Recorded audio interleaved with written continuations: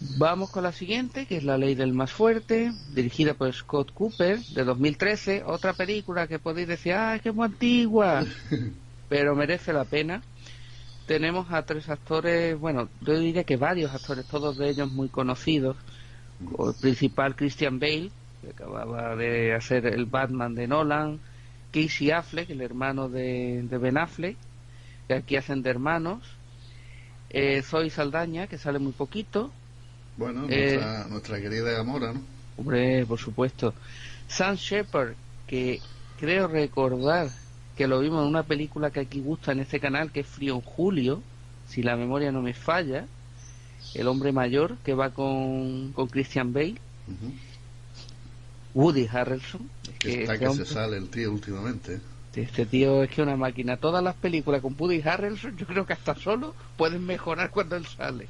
Bueno, hay una que, que hace de como que está medio majarón y, y me de- la dejé en un 5, ¿no? Pero vamos, las demás, uf, a tope, ¿no? También está William Dafoe, ¿no? Sí, sí. Y claro, el que está en todas las películas. Forrest Whitaker, más conocido por el Persianilla. Porque tiene un ojo que no se le levanta. El ojo, ¿eh? bueno, la edad que tiene tampoco se levantarán otras cosas. Eso ya no quiero entrar porque son cosas escabrosas.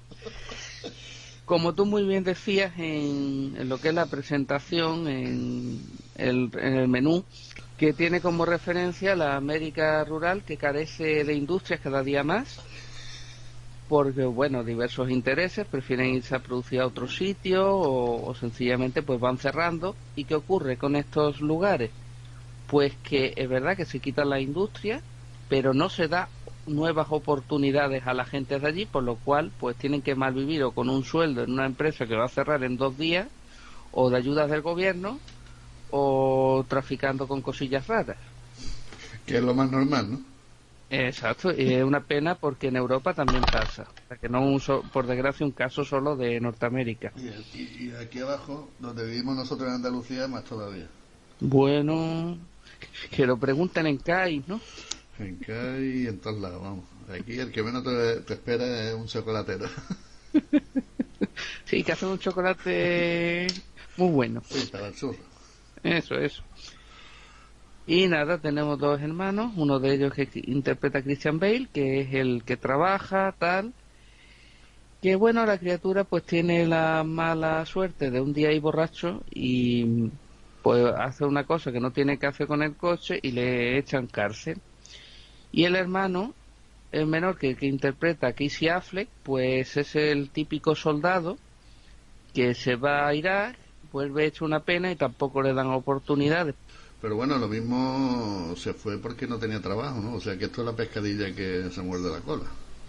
Claro, pero luego a la vuelta tampoco tiene oportunidades, Claro. incluso como veterano, ¿no? Claro. O sea, y entonces, ¿qué ocurre? Pues termina en una red de estas del, delincuentes y, en fin, esto pues conlleva pues, un dramazo muy gordo. Pues sí, se tienen que enfrentar a Woody Harrelson, que aquí hace de psicópata, que es raro, ¿verdad? Sí, sí, pues, está genial, vaya, ¿eh?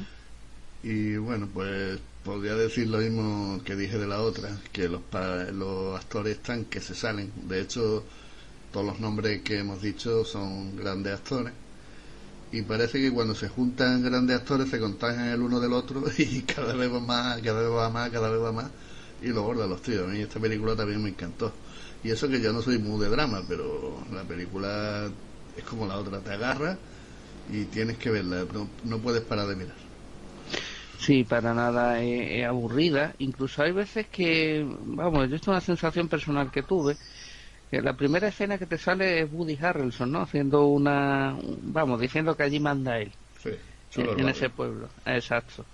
Y luego decía, bueno, este drama, pues es muy anodino, más o menos ya lo hemos visto, pero cuando ya empiezas a ver cómo el cariz que va tomando la historia, cómo va cambiando todo, ya tú dices, uh, esto no es un drama al uso de Antena 3 por la tarde. Esto No. es algo más gordo, ¿eh? No, sí, tiene, más, tiene algunas escenas violentas, digamos bastante violentas, ¿no? Sí, bastante, bastante. Y bueno, pues lo mismo que eh, dijimos de la anterior, yo no preferiría que la vierais sin los niños, Porque, entre otras cosas, una película así que está hecha para gente mayor, ¿no? Es que las cosas que salen no, no está bien que los niños, ya lo descubrirán ellos más adelante. sí, completamente así es. Eh, que los adultos la vean, la disfruten y los niños ya cuando sean más mayores, pues ya que la